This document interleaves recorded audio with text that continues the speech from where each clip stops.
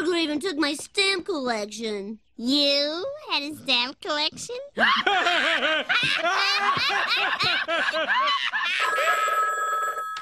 Stamp collection!